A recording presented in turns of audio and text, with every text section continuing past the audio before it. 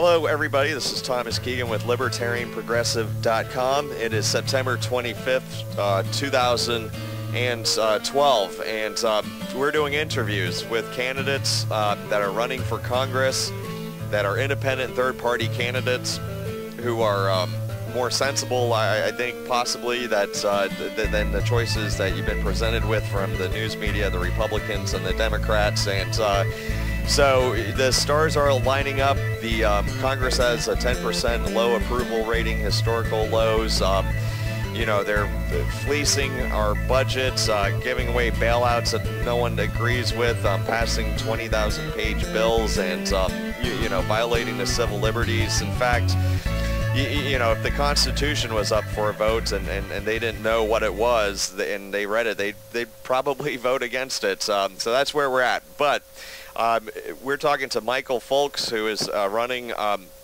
uh, for the U.S. House in District Number 2 in Oklahoma, and uh, he is running against, um, uh, let's see, you do have some opponents here. Yeah, uh, Markwayne Mullin, a Republican, and Rob Wallace. So I guess this is kind of an open seat with no incumbents, but um, uh, Michael is, um, it looks like you're on the Independence Party or an independent. If, if you could explain that and also tell us what got you motivated to run, uh, Mr. Fulks, um, and also um, about your district number two in case no one's, you know, visited um, uh, District 2 there. And uh, um, and just a little bit, you know, just a quick summary about yourself as well, sir. And thank you for your time today. We do appreciate, um, you know, you being here so we can share um, this information with people so they can make a more informed decision this November 6, 2012. Well, I appreciate the invitation. Uh, I'm always available to, to talk. Um, that's how I run my campaign. Uh, instead of trying to blast out a message that's funded with uh, special interest money. I've been a real boots on the ground kind of person. Uh, I've spent more time visiting people uh, where they work when when invited, uh, and at public uh, events uh, where they can expect uh, someone to to want to to ask them uh, what it is they really want in their in their next congressman, because I think that's real important. Uh, what we see a lot of is uh, the parties who have got their own agendas, basically telling us what it is they think that we need to have done for us. And it's their agenda, it's not ours. So I'm always uh, really big about asking people what they want. And to be quite honest, the disconnect between what Congress, uh, Congress approval rate, uh, ratings are, it's just, it's quite believable that it's down to 10%. Because uh, what I hear from people is nothing like what the parties want to push out on them. Uh, yeah, this is an interesting uh, uh, district here. And to start with, it's huge. I mean, literally massive. Uh, we go from the uh, we're at the east side of Oklahoma. We go uh, from places uh, like Miami, which is up in the northeast corner. Uh, we go down the entire east side of the state. We, we don't get Tulsa. It has its own congressional district right around Tulsa and a, and a couple of counties right around it. But we go all the way down to the Red River. Uh, we border, uh, you know, Texas. Uh, it's really three distinct economic areas uh, that have been lumped together uh, by the way that uh, districts have been redistricted uh, here since the last census. And we've got some very uh, unique uh, issues in that we've actually had a decline in population uh, from 2000 to 2010 uh, a lot of our young people uh, grew up, uh, were unable to find work in this area, and have had to leave. So uh, we've actually got a, a uh, uh, our demographic is actually becoming uh, uh, older, uh, which means that uh, we have uh, a lot more people that are, are at retirement age or close approaching it. And then we also have a lot of people who are under the age of 18 and our, our we have a, a higher than national average uh, when it comes to both of those uh, because of that we have uh, a lot of grandparents are having to look after grandchildren. Uh, I've seen that uh, in too many homes these days. But yes, it's uh, it's uh, an interesting race. Um, I had to uh, uh, here in Oklahoma when I went out to the capitals to file, uh, you either file as a Republican or a Democrat, and the third choice is independent. And it's not an organized uh, party here. It's simply, it really means not affiliated with either uh, national party, which really sums me up pretty well. Uh, I tell people that I'm the kind of person that I agree with some of what the Republican Party has to say. I agree with some of what the Democratic Party has to say. Uh, but neither party really represents me, and they really don't represent the people, the working people of Oklahoma, uh, which is why I was very happy to, I'm a registered independent, uh, uh, like a, even more people are in this area. Uh, yeah, we, really... Okay. Oh, no, Oh, please continue, sir. Yeah. Well, I mean, I was trying to remember everything you asked there at the beginning. Uh, What just a little bit about yourself as well. Yes, and like you're saying, Sure. most people are registered, or, or a lot of people are registered as independents. Um, that you're about to say as well. Well, there's not a lot of independents. This is predominantly a Democratic area when it comes to registrations. And people will register as a Democrat simply so they can vote in the local school boards because we have uh, closed elections here. Uh, and if you can't uh, vote uh, in the primaries, uh, you know, if you're not a Democrat, there's a lot of them you can't even vote in. So a lot of people will have that affiliation. Uh, it, I think it skews the numbers. Uh, I mean, I've had numerous school boards uh, primaries that I have not been able to uh, vote for someone to help help someone that I thought was better qualified uh, even get to the ballot because I wasn't a Democrat. So uh, it's one of the, the pitfalls of having uh, of having closed elections here. But you were asking me, yeah, what was my motivation for getting started in this? Anger.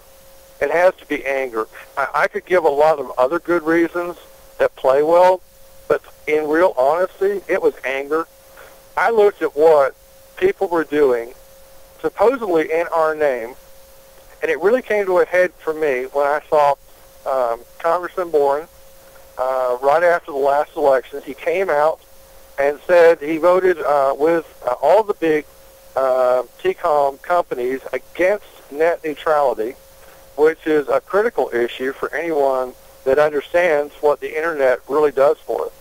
Uh, for us out here, the internet's a great leveling field, uh, and for Dan Boren to have uh, taken and voted against the interests of local business, local initiative, uh, and, and, and basically told us that net neutrality was a non-event, wasn't important to us.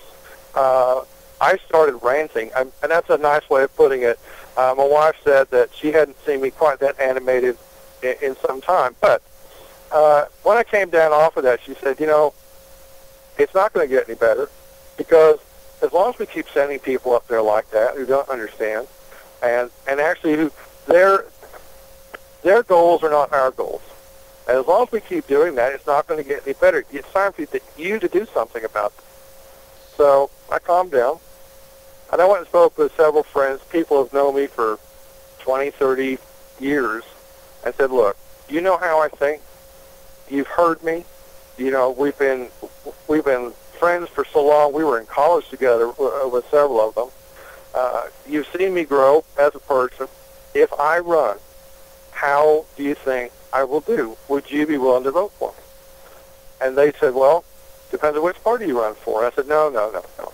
I said, parties don't work. We know they don't work. And there's no point in trying to run if I run on a party. And they and my friends came back and said, well, that's the right answer right there. And that's the only way that it will work is if you'll do that, which is why I'm out here uh, being an independent. Yeah, a party is kind of like you know its own government or something, and um, and and it just um, I mean we already have the Constitution, and um, you know they have their own chairmans and, and their own rules, which um, some say are pretty corrupted too. Um, especially this year with the, you know when Ron Paul was running in there, if anyone paid attention to that. But um, yeah, the, this is like what you were saying. Like um, you wanted to um, see. Uh, you know what what people wanted to get around, talk to the folks, get their ideas, um, not just kind of push your agenda. I, I mean, as opposed to the people that we've been electing into Congress right now that they're pushing their agendas. They want to get in there not to serve you or to do good or for a noble cause. They want to get in there so because like they used to work for a pharmaceutical industry and they know they're going to get a cushy job if they let certain drugs pass through and then deny other ones from passing through and that's exactly what's happening now. They want to feel good that they can you know have a yay or nay vote on um, uh, like you know body scanners at the airports that were you, you know now that you know that's such a no bid contract right there and um, I mean billions spent on these security systems that we don't need but so they might say you know I'll vote for this they'll you know they'll accept a bribe to vote for something they might not if no one pays them but I mean so from the pharmaceutical industries the energy companies all sorts of companies I mean any company that can afford a lobbyist can you, know get paid dividends back. I mean, these people sell out. Not only are they sellouts, they sell out for you know nothing. I mean, they sell out for just pennies on the dollar. So yeah, some of them get cushy jobs that they sell out like hugely if they're just like a complete plastic fake sellout. But most of them, I mean, they'll sell out for a couple thousand dollars for their campaign. They, I don't know, maybe they're getting something more. Plus, they're, you know, insider trading. The lot.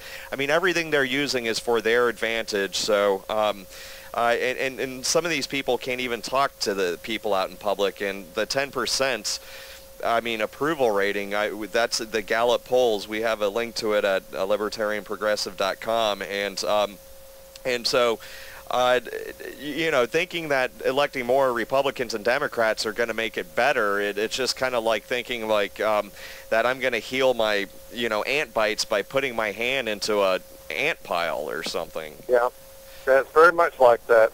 I've uh, I've taken a very extreme stance when it comes to how to accept influence, because we all we all make those choices in our lives. What is it around us that we're going to allow to influence us? I mean, we do this on a day-to-day basis. Um, do we have some kind of a moral structure that we live our lives by? They're influences. I talked to my wife and I said, we can either, uh, we looked at what was going on. I said, you know what's going to happen? We're going to see millions of dollars be come into this, into this race here in Oklahoma because it was real obvious after the last election that uh, Dan Boren was in fact vulnerable. Uh, you just had to look at the numbers. He had a really poor showing against a really unknown uh, Republican contender who hadn't done anything out here uh, and has some very extreme views. And yet he barely managed to get to six figures uh, when it came to the voting numbers. And I looked at that and I told my wife and said, you know, he's vulnerable. And she agreed with me. Uh, I said, you know, with that kind of vulnerability, we've got to come up with something because the parties are going to throw a lot of money at that. Not just hundreds of thousands, but there will be millions of dollars thrown into this race to keep this this seat for one of the parties. And we looked at that and I said the only way to do it is to refuse to compete on those terms. So yeah, instead of playing find, their game, play our game, you know, instead. Well, and that's it my campaign, I don't know of anybody else anywhere in the country, and there probably is, but I don't, I haven't seen them. My campaign says, please do not try to send me money. I don't need your money. I have seen what a couple, and, and, but I haven't seen any. I'll say this: I haven't seen any from you know Republicans or Democrats, but I have seen a couple, not all, but a couple independent third-party candidates stating that. So right. it must be something in the psyche of you know honest people.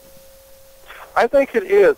I, I have people. I had people come up to me. I was at um, up at Sallisaw last night. We had a public uh, a candidate forum run by the Sallisaw Chamber of Commerce. Really great people. This is the second round uh, of forums they did. They did another one back before the primary.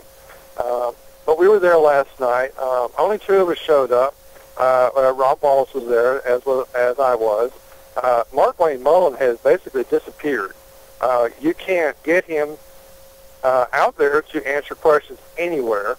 Uh, but at the at this forum last night, we had people came up to me uh, and, and they said, "It's unbelievable that you're actually running uh, for this office and saying you don't need our money." I said, "Well, because that's what we we don't need your money. I'm on you need the their ballot. votes, right? That's what you Exactly. need. And you need Yeah. like every person to tell. Like if every person told ten people that told ten more Yeah. people, uh, maybe that might, you know, Yeah. catch ca- catch on. Um, it might spread Yeah. the word. You know. As, as I told them last night, I said thank you. And several people said, yeah, obviously, they're not obviously, but yes, they will be supporting me in November. And I said, fantastic. I need, I need you and a hundred thousand of your closest friends to make that decision.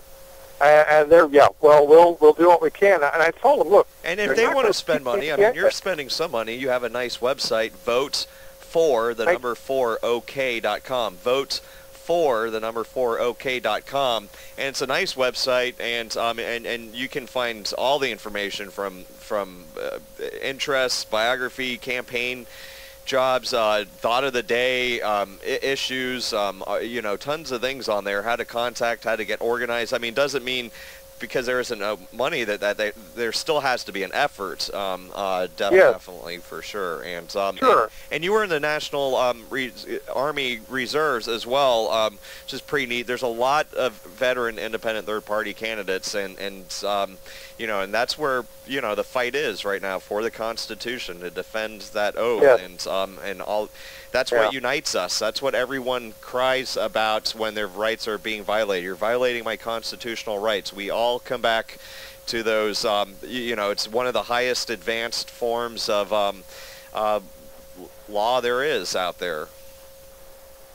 I agree with that. Um, this is, I did not, I was not willing to fight for this country to support a corporation that gambles. Uh, when they lose, they go to our Congress and say, look, if you don't bail us out, we're not going to be able to give Well, you we need to change that term. It's not gambling if you have no risk of losing, and they Well, don't. Good point. Good point. Um, and that's the thing. But that's what they did. I mean, the whole financial bailout was uh, was when they told they told the parties, look, if we don't get bailed out on this, we're not going to be able to support your campaigns any longer. So of course they got bailed out. But that's not what I was willing to fight for. My father spent 20, pl- almost 30 years uh, in the Air Force. He joined what was the Army Air Corps. I've got two younger brothers who both served in the American Air Force. Uh, this is not what we fought for or we're willing to fight for. Uh, we, it's about we, the people. this is a nation of people. It's not a nation of corporations. And Yeah, I didn't pledge allegiance to any corporation or, or swear an Yeah. oath to protect and defend any, you know, private corporation or anything like Yeah. that. No way. Yeah. Well, you know, unless you get to some of these, you know what, and things that concern me out there is the number of uh, defense contractors that uh, got, instead of just being in support roles for moving, you know, munition or supplies around, they actually ended up in combat situations. I mean, can you, it's hard for me to believe that if you need uh, a security detail to protect a dignitary, that our armed forces, our uniformed forces, cannot provide that detail. Truly, that is such a repugnant idea to me.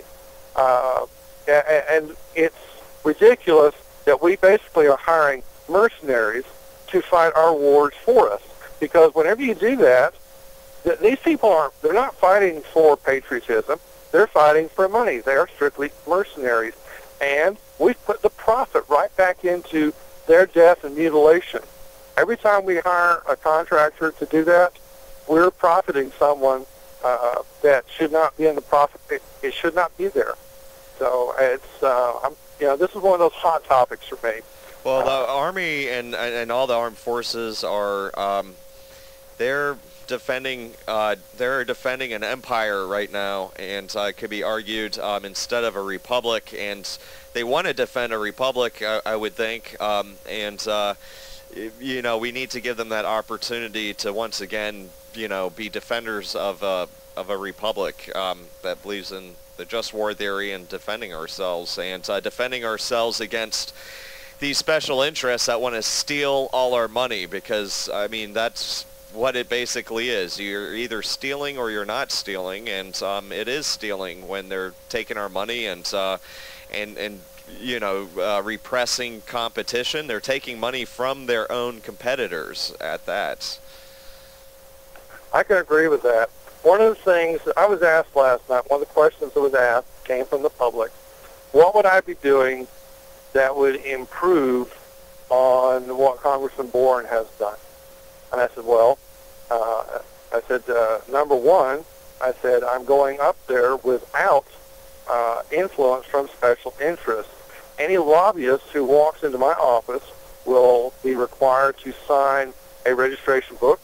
It'll have their name, their company, and why they were there. That book will become public property. It'll be open for inspection uh, for the public at all times. So, in other words, we, you will have transparency back in the office. That means that you won't be wondering who I'm talking to because it's a matter of public record.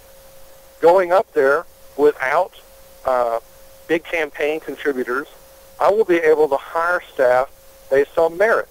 I won't have to give out staff jobs uh, as you know for patronage, uh, which will uh, really help me uh, a great deal. Uh, and just by doing those things right there, we're going to see an improvement in government. Because when you don't have to wonder about what deals are being cut because you know who's talking to your elected representative, then you're already a step in the right direction.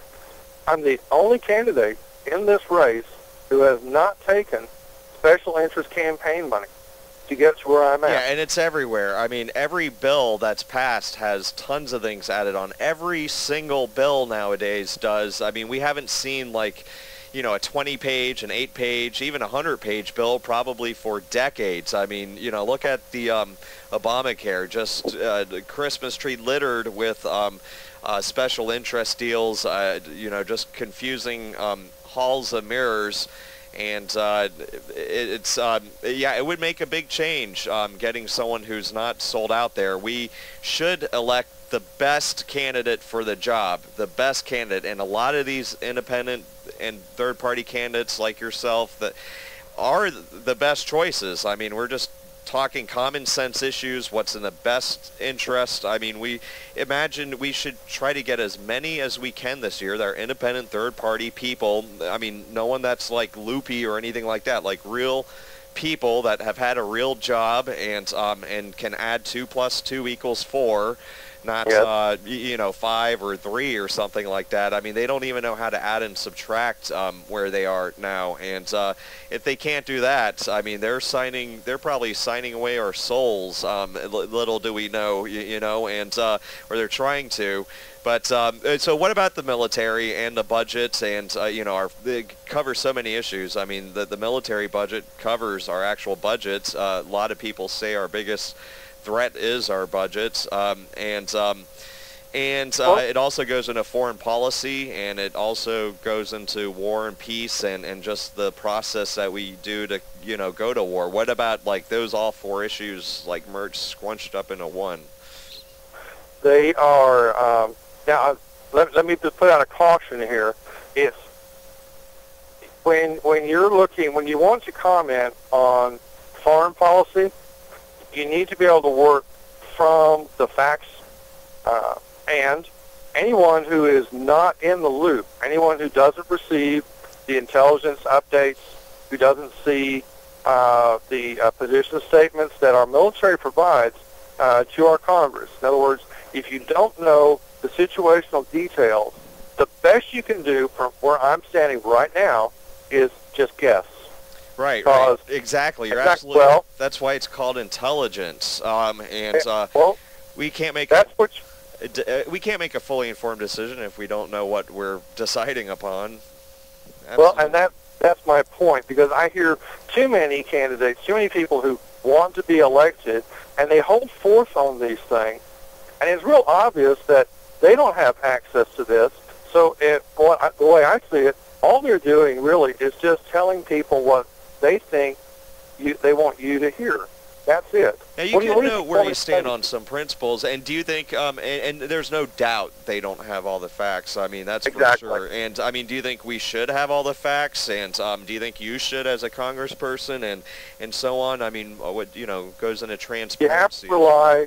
You do have to rely on your experts um, to to give you good situational awareness uh, you've got to be able to rely on these professionals. And these are professionals. These are men and women who are out there risking their lives on a daily basis to provide us with this. I've got no reason to believe that they would in fact be anything less than truthful because uh, if they give you a phony story, they're, they're hurting themselves. Yeah, but we Uh, also want them to debate because they might have disagreements and stuff. You know? Exactly, Yeah. exactly. But in you know, in in practical terms, um, yes. Uh, I wonder sometimes the motivation we have uh, with some uh, with our presence in some countries. Uh, for instance, right now, or just very recently, uh, DoD put out a uh, bid for contractors to go and do seismic survey in Afghanistan. Now, unless I'm way uh, mistaken, the only reason to do seismic surveys is look for oil domes, mineral deposits. Now, this is a country we're supposedly leaving. Now, why would our found- military have an interest in that? Yeah, they found a trillion dollars worth of lithium there, and, and, and you know, there's an oil Right. pipeline I think that goes near there, and uh, Uh, those are why- questions that we need to ask. Why? I mean, if if we don't know Yeah. the facts, the only answer I could really give is no. I, well, why are our tax dollars being used to to do a survey that will most likely end up profiting some private company? That's my point. Right, it's not going to be some contract that we make where we make a, a trillion dollars. Um, that's for Exactly. sure. We're going to use be used as the enforcers and um, and just the uh, y- y- you know the pawns basically, Right. Yeah. and the bank. So, you know, the, the military now, I mean, you know, what percentage of our budget is our military? How big is that? I think it's like it's a huge percentage. I, I mean, um, I think you, you know, just bring it back to like 2003 levels, we could cut almost a half a trillion dollars a year. I think, um, but uh, and still have about 400. I, I mean, I mean, yeah, 400 billion Well, dollars, which still would be you know twice as much as any other country in the world. But um, but there's But, yeah. but in, in percentage, I mean, is it is it 20% of our national budget? I think or it's it 25 50%? or something like that, isn't it? It's a mass. It is a massive amount, and uh, we had a couple of the national candidates uh, running for president who pointed out the difference between North and South Korea uh, just here in the last 48 hours. And they said, you know what's wrong? Why is South Korea such uh, an economic powerhouse compared to North Korea? Well, they've taken their money and they've invested in infrastructure. They've invested in capital, human capital, uh, whereas North Korea is, in fact, spending over 50% of its budget on military.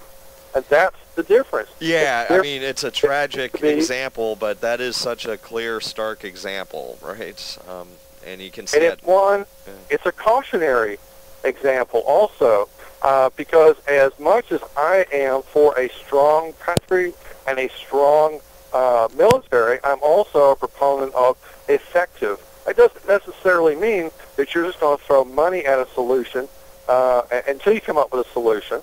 Uh, you, you need to have an effective military, but you also need to be careful about what it is you're actually spending on that. Yeah, And you should. You have to have an be- end goal, like a goal, like like this is what Well- we envision the the outcome to be. You know, Yes. instead of just like the way we're acting now, we're acting like we're undecided and that we want to um, profit special interests and bankrupt our country. If that's a goal, then um, that's how we're acting. But we're not acting as a goal that's you know that considers Yeah. all the options on the table, that brainstorms, that that really uses and you know highly intelligent people thinking about things and uh and, and and you know openness can be a great strength too i mean you know you look at like open source software it, it, it reveals the flaws but the flaws get fixed really quickly and um Yes, we do. and uh, what so what about the um uh, I mean, just just even so, you, you know, considering all this, what about um, like, you know, the um, uh, the NDAA which passed recently? Um, uh, just it seems, and I say that in a broader sense of privacy because it seems like um, our privacy, like we're losing a lot of it, but at the same time the government's gaining more privacy. It should be just reversed. I mean, we should be able to have complete oversight and freedom of information and um, accountability and um, you know good representatives um, our eyes on the government. They're the ones, you know, should have the the video camera should be turned around. It should be on the government um, more so than us, unless if there's a warrant, um, which which that's even at risk for. You know, when uh, agents can write their own warrants without a judge's approval. I mean, what do you think about in that arena? Do you want, um, you know, people growing up like that in that kind of state, or you know, in a free country where there's a due process and respect for the Constitution?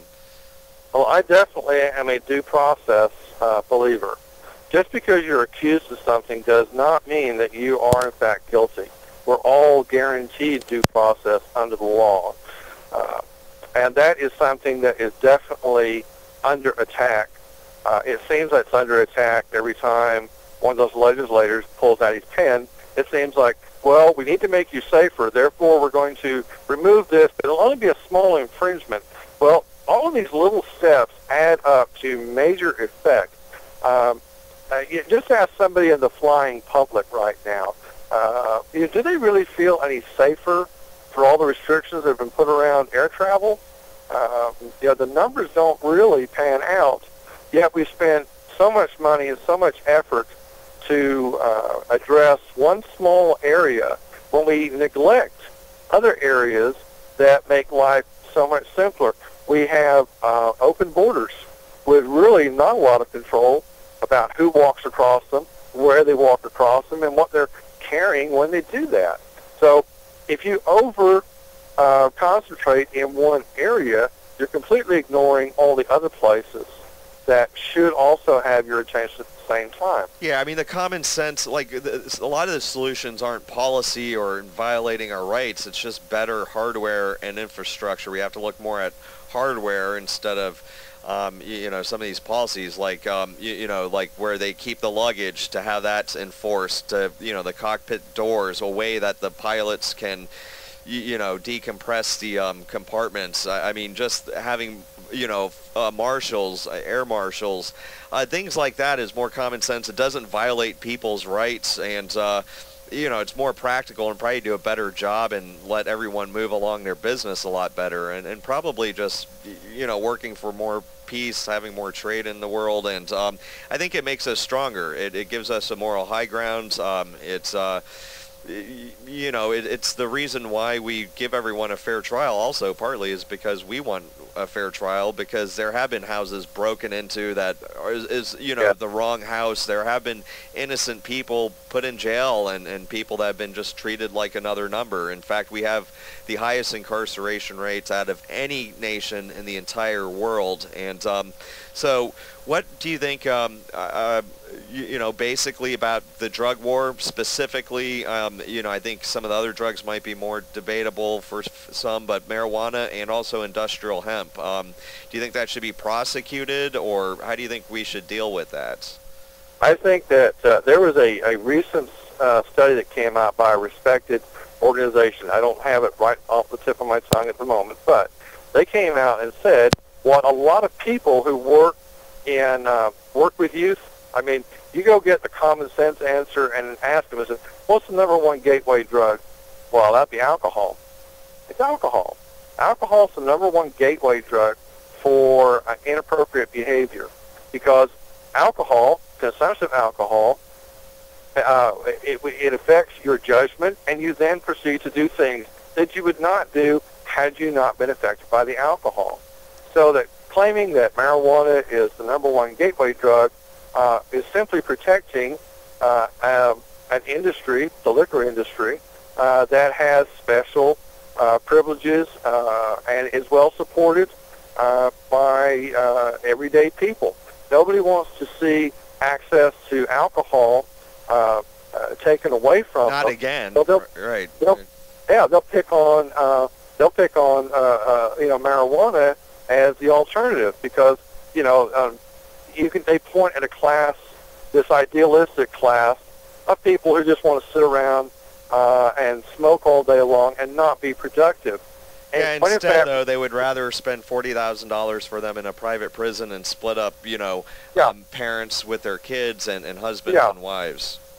And I mean, and there's lots of there's lots of good research now Um, and hey, what's going to be ridiculous, I think, if we proceed down the current war on drugs, is when we have all of our retirees, all of our boomers, the ones that were exposed to casual marijuana use, as they get older and as they pick up uh, all the different conditions, medical conditions that make getting older really uncomfortable, they find out, guess what? It helps with nausea. It helps with this. It helps with that. And it's natural. And aside, it, it doesn't have the same uh, noxious uh, toxicity that the mainstream pharmaceutical ju- uh, drugs have.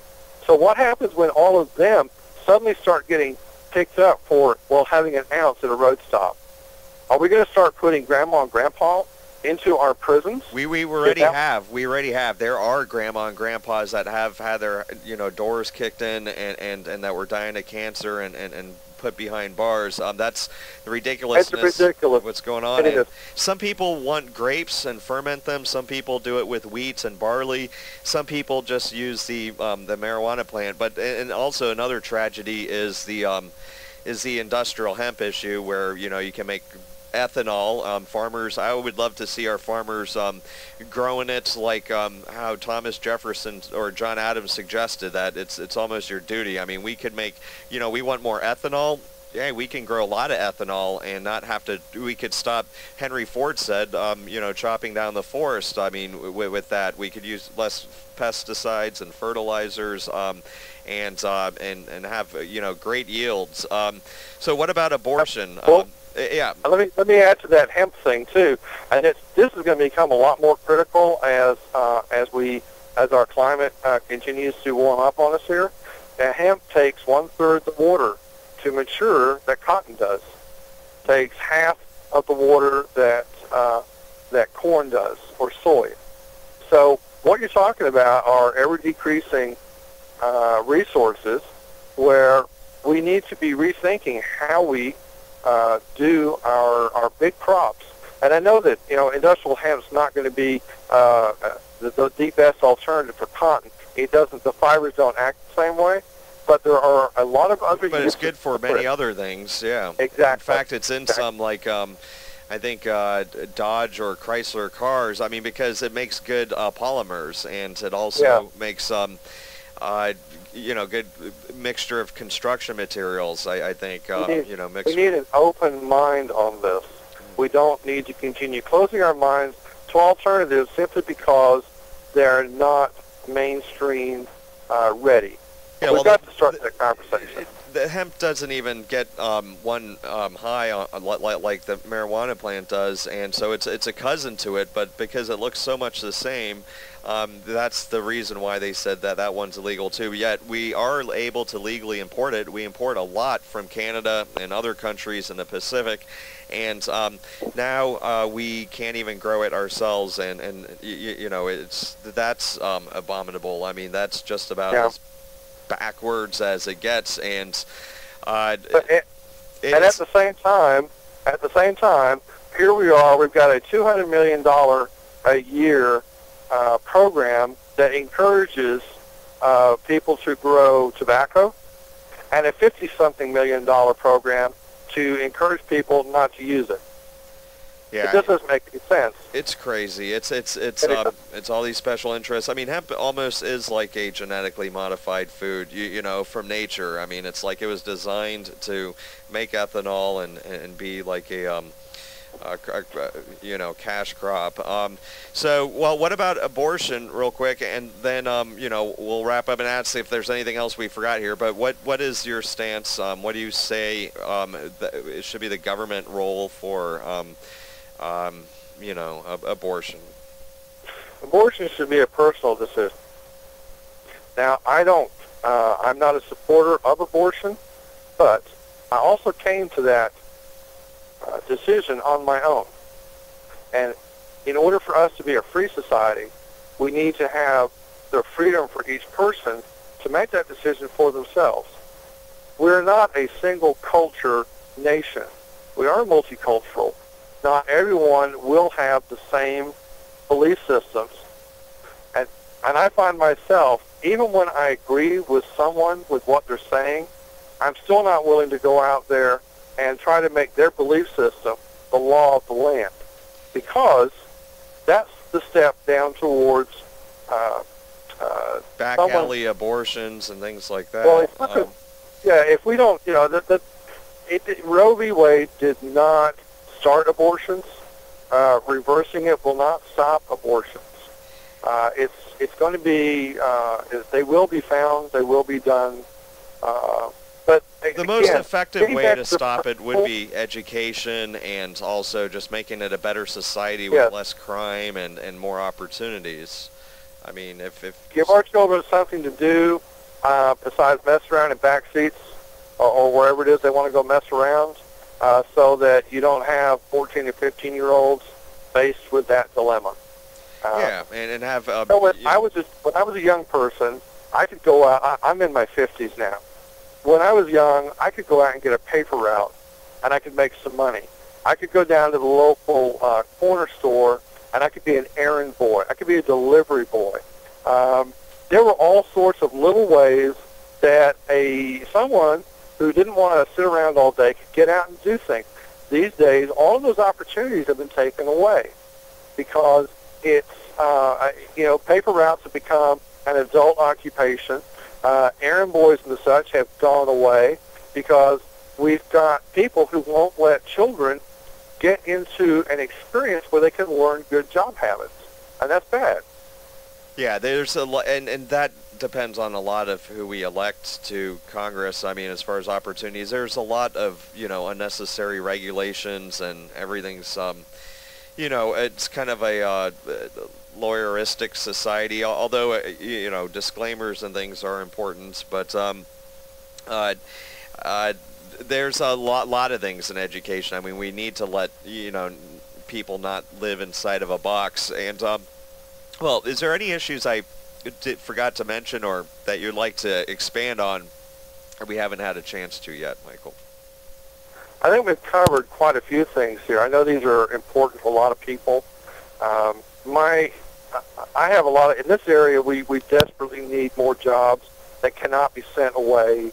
Um, I've been working with. Uh, uh, I, I'm a I'm a business consultant. I'm also on staff at the local college, but I have a business myself, and I've worked with dozens of people and small businesses over the years, helping them take themselves to the internet. And one of the things that we always concentrated on was, well, if the, if what they're doing only makes them a few hundred dollars a month, it's a few hundred they wouldn't have if they didn't start doing that. And we people really need to expect to be their own entrepreneurs. You you can't really sit and wait for some big corporation to drop a nice cushy job in your lap. We've got to find ways.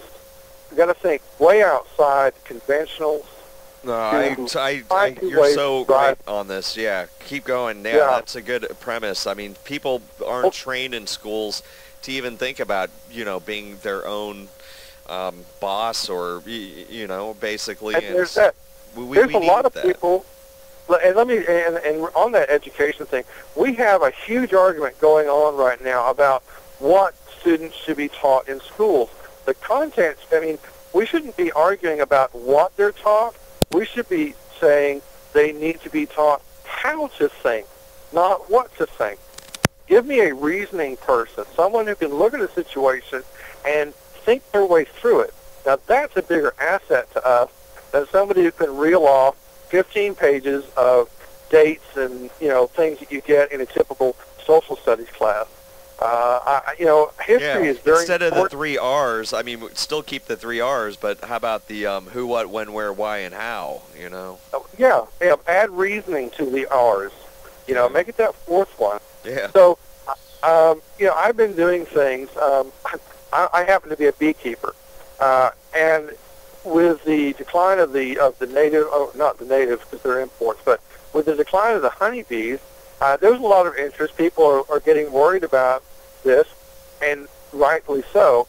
But I've been teaching people how to become beekeepers. I've dozens of people. I've been teaching it for three, four years now. And the nice thing about this is that the further you are away from town, out into the typically very depressed areas, if you become someone who can become uh, uh, a, a queen bee breeder, uh, see, we've cut off a lot of imports of bees from other countries because they have uh, their own problems with diseases. Well, right here in southeast Oklahoma, we've got a great uh, uh, environment to become one of the me- uh, big sources for uh, honeybees here in the United States. And a, honey, a queen bee goes for anything between 25 to 85 dollars a piece. Well, if you can raise one queen bee, you can raise a thousand. Yeah. It's not that much different. Hey, you got somebody sitting out on a couple acres in the middle of nowhere, wondering how they're going to make a living, and now suddenly you're dropping that kind of income potential into them, fifty thousand dollars a year as a beekeeper. No, that that is totally awesome. I mean, that's a great example, and I've actually thought about, um, d- you, you know, uh, d- you, you know, g- having like a small community of bees n- n- near me just for fun to get some honey. Um, but um, Yeah. Yeah, yeah, I think I will do that next season. Um, I got some books on it, but but besides that, I mean, there's so many things we, we do need to help small businesses and the entrepreneur. Like, um, we should, you know, help people with prop with taxes, property taxes. I mean, we need to lower people's expenses instead of the arguments always, you know, people need a higher income. Yes, I mean, and and you know that has to do with education as well, but. Um, uh, we also can help. Um, the government should get out of the way and, and, and let you know, especially small businesses. I mean, because we should be dependent on corporations. I mean, we, the, the whole mentality of the industrial revolution was these were these huge corporations, and that was fine for a while. It's just kind of like a football team. Like sometimes you might need a certain coach to get them started, but then a different one to get them over to the Super Bowl. Like in the same way, you know, the industrial revolution definitely is important, um, but um, if put this dependency on corporations, like they're going to pay your retirement, they're going to pay your health care. Yeah. And, I I mean, they're just going to take care of you from cradle to grave. Um, and now It's not going to happen. it, it's important It's to you know it, it can be good to have a collective to get together for big projects no doubt but in a sense with the internet revolution we're kind of returning back to where everyone was like smiths um, but with you know higher technology and um, and and I kind of you know you know people are more freelancers um, so with that kind of environment we're gonna have to help people like that by making maybe making it easier for people to get properties, properties that might not be uh, available now, you know, acres of land, open some up to just regular people, not to contractors or things like that, possibly, and um, and, and, and just really reducing their bureaucracy and uh, and taxes and letting people go out there and do whatever they want. You want to open up like a whatever T-shirt thing on the side or whatever. I, I, I don't know. Would any follow up on that, sir? I think it's important that we let we, we start re-enabling people because the whole emphasis from our elected officials has been to enabling uh, big business, corporations, uh, and everything is aimed at the, the so-called economies of scale. And what we're finding out is those are false economies. And what it's done is it is actually taking the skillage that made America great, and it's in the hand right now our skillage is dying off as our older generation, the ones that actually worked with their hands and didn't turn their noses up at any kind of work that came along, as they die off, we're losing so much. And this next generation uh, has not picked up the same kind of skills, not yet. And they're going to be forced to. And I think that's going to be an uncomfortable truth for uh, too many of our young people. Uh, and we've I got think they will everything. succeed at it. But yeah, you might be right. But um, you, you know, I think um, you, it, because it's not just that, but with that, you if and if you get like a lot of other freedoms and, and a return to republic, respect for civil liberties, um, an atmosphere where you can succeed, it might not be such a bad thing. It's only a bad thing if we're still getting, you know, ripped off and shenagled from the special interests. You know, then then, I won't argue with that one. yeah. Um, Well, I appreciate the time here this afternoon. no, I know, and we're yeah, we're spending a little extra time to get information. If, if if you do have another minute here, if we could ask you, if you wouldn't mind sharing with us, um, we always close with this. Like, who's someone you've been thinking about recently um, that you found who's what? that, that you've been thinking about recently, um, and, and and why? I'm sorry, I was I got some background noise. Could you repeat that question? Yeah, um, yeah. Who's um, you know someone either historical figure or someone who's around nowadays oh. that's been on your mind recently? If you don't mind sharing that with us, and, and why, sir? Um, I'm gonna be hard pressed with that one. A lot of my reading has been current events. Uh, I've been looking back a lot of the founders, rather than specific people. I've been looking more at specific movements or movements in general, uh, the kind of climates that affected how people did things. Uh, I'll be honest, I've thought a lot about uh, uh, about my, my parents. Uh, they're both dead. They've been dead a number of years. Uh, and I've uh, I've been thinking about uh, that quite a bit here recently, uh, simply because of the kind of examples that they provided for me. My, my mother was an English uh, woman Dad was American Air Force. Uh, back in the 50s, the expectation was that if there was ever a foreign girl that wanted to marry one of our boys, the only reason she wanted to do that was to get American citizenship. That was the, the general consensus. And my mother was a was a proud woman, uh, all five foot three of her, and she absolutely resented that intensely and refused to apply for citizenship, and was a registered alien uh, uh, uh, my whole life. And that actually cut us out. That hurt us financially in the family because we were at overseas air bases. Uh, we were in Spain. We were in Germany. We were in England. And when you were there, a lot of the NCOs' wives would usually work at one of the the uh, base offices. Well, my mother couldn't do that. So we actually had less income than a lot of other NCOs did. Uh, well, that's a respectable. I mean, that's very, you know, very principled, and I um, you know, definitely making a yeah. points there. And um, and that is that was something that I, when I was old enough to realize what it was was going on, uh, you know, it was. I kind of realized that, you know, it's really easy to tell someone. It's easy to use words. It's a lot harder to use actions. And they taught me things that I don't think they realized they were teaching me. But that was one of them right there. So yeah, I'm going to go with my family on that question. Okay, yeah. Well, I was just going to say, I mean, um, because it just inspired me to think, like, you know, that's basically work out of love. You're working, doing what you love for work. You're working out of love. And, and that's kind of like what you're doing here when you're running for Congress. I can certainly hope so. Yeah. I know that we've got to change it. I've got grandchildren, and I'm scared for their futures. Uh, I'm, I cannot just stand idly by and let other people decide what their futures will be anymore. I don't trust them anymore. Well, and, and we're doing this nonprofit. I mean, you, you know, we're hoping that um, you know just to get the word out there and, uh, and and have these interesting interviews. And this has been very interesting. And if you want to know more, which I'm sure people would, it's vote4ok.com. And um, so vote the number 4ok.com and uh, there you'll see read about Michael um, Fulks and. Uh, uh, Michael, it's been a pleasure. Um, it, it's, is there any like upcoming events that you want to shout out real quick, or sh- you know, should people just visit the website, or any debates coming up, or anything like that? Um, I will be at the RSU events. Rogers State will do uh, a debate at the end of October. Uh, this coming week, um, I'll be at a beekeepers uh, meeting at McAlester on Saturday, I plan on being up at uh, up at Miami for uh, they have a, a powwow going on this weekend and the fancy dance competitions on Sunday. Uh, so I'm going to go up there simply for pleasure. Uh, I'm bound to talk to some people, but uh, I'm just going up there to have a look see at that. Uh, I, it's, I'm right in the middle of the district, uh, and I, I keep talking about the north, but uh, know, we go all the way from one side, from the top to the bottom over here, so it's hard to get out.